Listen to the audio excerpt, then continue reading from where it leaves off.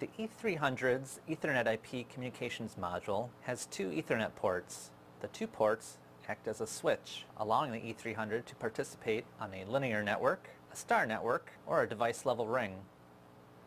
A device-level ring allows the ringmaster to redirect communications traffic in the event that one of the communication links is disrupted.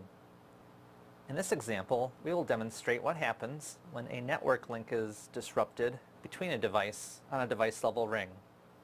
For this demonstration, we have two E300 electronic overload relays and a Compact CompactLogix L36 ERM.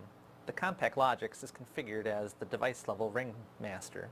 Currently, the L36 ERM is commanding both contactors to be energized via the E300 electronic overload relay.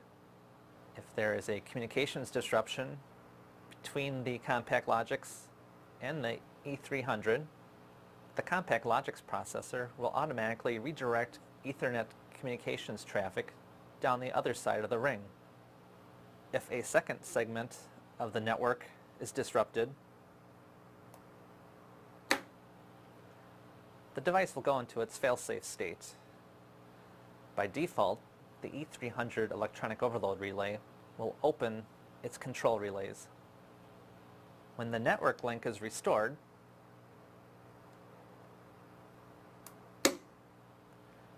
the E300 will receive Ethernet commands and re-energize the contactor. When the complete ring is restored, the ringmaster will now only send communications down one side of the Ethernet ring.